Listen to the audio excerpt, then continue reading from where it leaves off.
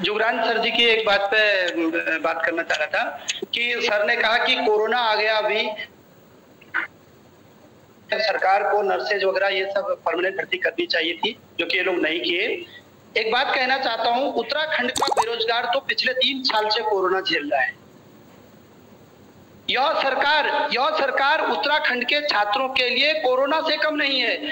ऐसा मैं इसलिए कह रहा हूँ, बताइए आबकारी परिवर्तन सिपाही का जो विज्ञापन निकाला गया 2016 17 में निकाला गया और आज 2020 हो गया, कितनी शर्म की बात है कि उसका एग्ज़ाम आज तक नहीं हुआ है। जो लड़का तैयारी के लिए गया होगा देहरादून या हल्द्वानी अपने घर से बाहर, बताइए उसकी मनोदशा क्या हो गई होगी आज? क्या वो कभी दूसरा फॉर्म भरने की हिम्मत करेगा? पुलिस की भर्ती देखिए सर, पुलिस की भर्ती लास्ट टाइम 2014 में आई थी। 2014 के बाद, तीन साल के बाद ये सरकार आई, हम लोगों ने मोदी जी के कहने पे डबल इंजन को चुना। भाई 2014 में पुलिस की भर्ती आई, पंद्रह तक होते होते वो फिनिश हो गई। तो सत्रह में नई सरकार आई, आज तीन वर्ष पूरे हो गए। यानी उस भर्ती को आए हुए छह वर्ष हो गए। अब बताइए कि जो लड़का उस समय अठारह साल में होगा 2014 में वह लड़का 24 साल का हो गया होगा और उत्तराखंड पुलिस में भर्ती होने के लिए मिनिमम एज जनरल की 18 होती है और मैक्सिमम होती है 22 साल।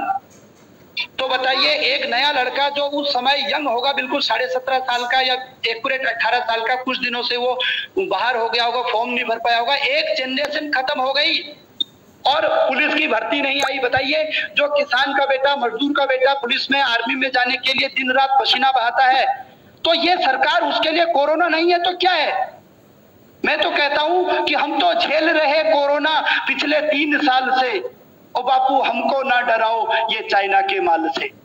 चाइना से आज कोरोना आया है, लेकिन उत्तराखंड का छात्र पिछले तीन साल से कोरोना झेल रहा है कि जब से यह सरकार आई, आज उत्तराखंड का छात्र स्वयं को ठगा सा महसूस कर रहा है। चाहे वो प्रवक्ता की तैयारी करने वाला हो, पिछले दो सालों से हम देख रहे हैं किस प्रकार से विज्ञापन, जो है, अखबार में आते हैं। मैंने अभी बताया था, सात जून 2017 को अखबार में आया है कि उसकी वीडियो बीपीडीओ की भर्ती होगी।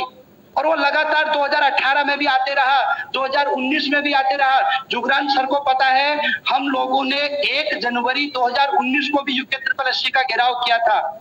10 जुलाई को भी घेराव किया था और हम छात्रों को बेकूफ बना दिया गया। मैं तो धन्यवाद देता हूँ, सर, आपको कि आप छात्रों की आवाज़ को उठा रहे हैं, बेरोजगारों की आवाज़ को उठा रहे हैं। आज इस सरकार को कोई फ़र्क नहीं पड़ता कि युवा मरे, युवा कुछ करे। आज अगर मैं उस दिन टैंकी से मर भी जाता, इस सरकार को कोई फ़र्क